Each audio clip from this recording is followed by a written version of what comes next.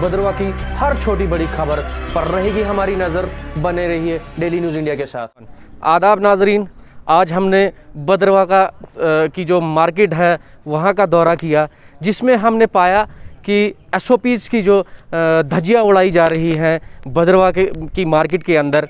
जिन दुकानों को बंद होना चाहिए एस के द्वारा लेकिन वो भी खुली पाई गई।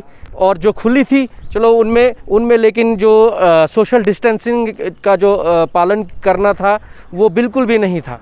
आइए दिखाते हैं आपको ये छोटी सी रिपोर्ट मज़ीद अपडेट्स के लिए बने रहे माजिद अंसारी के साथ।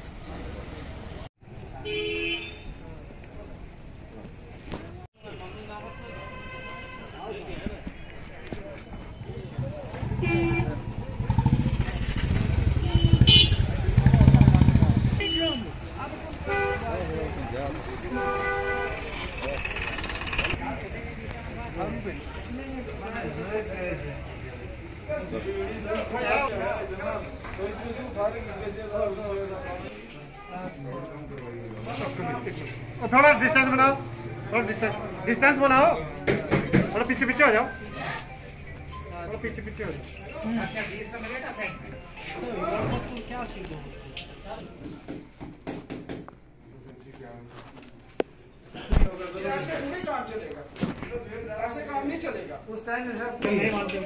सर जी यार दूर दूर रहो दूर दूर। लाइन बनाओ लाइन क्यों ऐसा कर रहे हो आप? बेवकूफ़ वाले काम सर धक्के रहने के? लिए चल दूसरे काम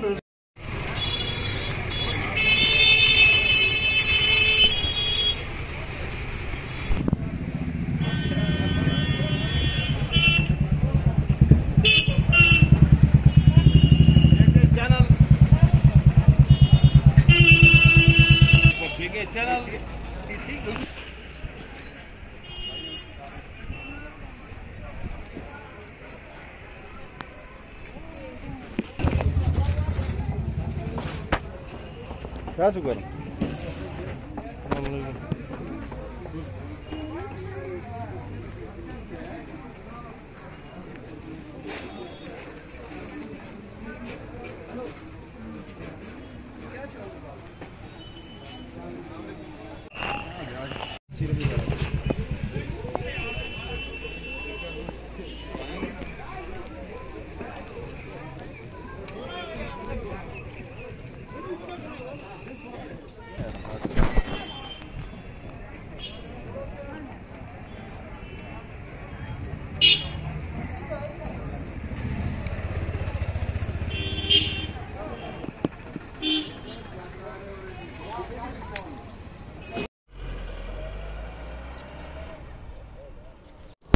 देखिए जो भी एस ओ दी गई है एडमिनिस्ट्रेशन की तरफ़ से, मैं समझता हूँ जब भी कोई गाइडलाइन इशू की जाती है या लोगों को सावधान किया जाता है तो वो हमारे, हम सब लोगों के लिए भलाई के लिए करते हैं।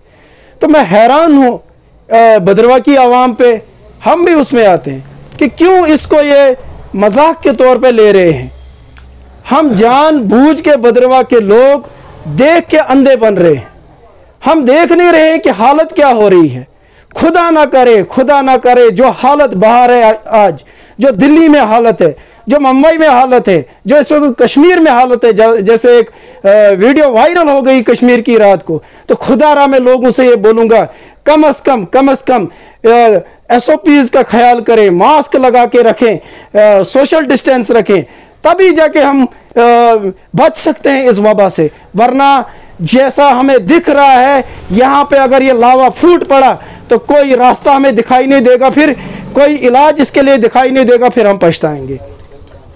देखिए, सबसे पहले मैं आपको बताना चाहूँगा, ये जो वबा फैल रही है, इसके इसके खिलाफ हम लड़ नहीं सकते हैं।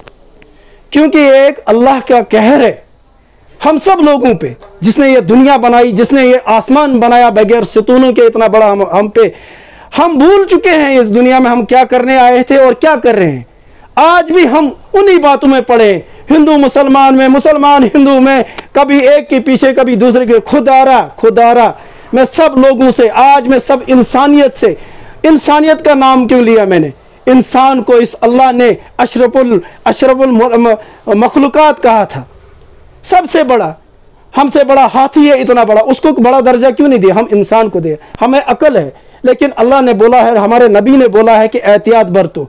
लेकिन हम उसको साइड पे रखते हुए अपनी मनमानी करते जा रहे हैं। बाकी रहा एडमिनिस्ट्रेशन ने यहाँ गाइडलाइन इशू की है, आधी दुकानें बंद रहेगी, आधी खुलेगी। लेकिन मैं उन लोगों को बताना चाहूँगा, आप गलत कर रहे हो। अगर जान है तो जहान है, कम अज कम उन एस को फॉलो करो। एहतियात ज़रूरी है।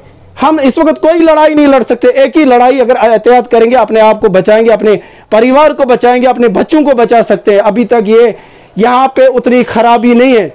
लेकिन जैसे लग रहा है, हम खुद दावत दे रहे हैं इसको। तो मेहरबानी करके आखिर पे मैं आपको बताना चाहूँगा कि मैं लोगों को अपील करूँगा दो हाथ बाँध के ऐसे, कि कम अज कम कम अज कम एस का ख्याल रखें गैदरिंग मत करें। मास्क लगा के रखें और जो भी आपको एडमिनिस्ट्रेशन की तरफ़ से मैसेज मिलता है, उसको फॉलो करो। Thank you